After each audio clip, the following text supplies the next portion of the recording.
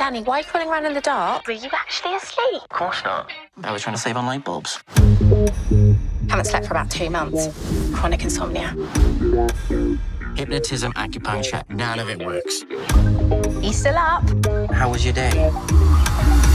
Oh, I saw this ad for some new pills called snoozers. No, they don't knock you out. They just make everything taste like cabbage. Apart from cabbage. Oh, it's a little dog. Little? I could put a saddle on it and ride it into town. Sorry, it's my bedtime.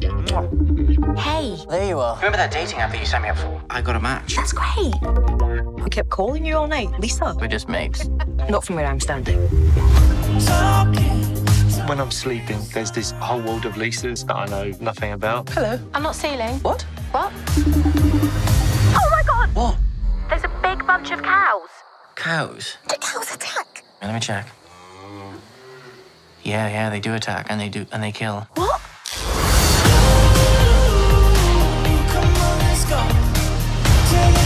I don't think you know what it's like for your partner to come alive as soon as you go to bed. I don't know what I want to do.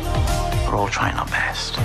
All it takes is that one person to really see you.